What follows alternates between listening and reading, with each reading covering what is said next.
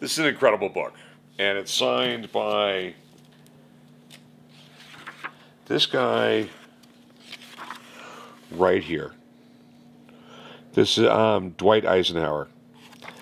Um, you know, it, it's sort of shocking to me that Eisenhower isn't considered right up there with Alexander the Great and Julius Caesar.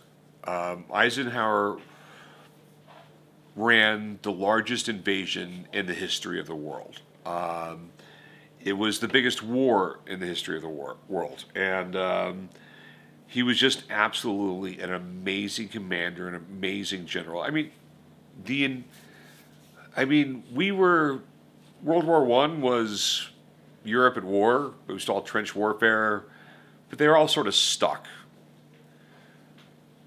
World War II was fluid. It, it included Africa, Asia, Europe. Uh, I mean, basically, the world was at war, and this was the guy who won it. And it's basically written by Eisenhower, signed by Eisenhower, an incredibly good book shape, a book that's in, in incredible shape, and it is the Crusade in Europe. Um, there's very, very few of these that were signed by Eisenhower. And if you can get one, it is definitely a find. I'm a collector of books, and I have some other Eisenhower stuff, or otherwise I would snatch this up. Um, really cool. It was on the show, and uh, all I can say is, in my opinion, $5,000 is a hell of a buy.